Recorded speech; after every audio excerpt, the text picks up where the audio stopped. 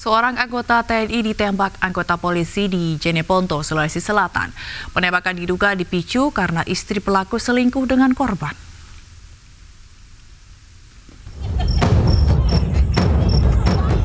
Warga perumahan Mutiara 77 Kalukuang, Jeneponto, Sulawesi Selatan dikejutkan dengan suara tembakan dari rumah Serda Hasanuddin.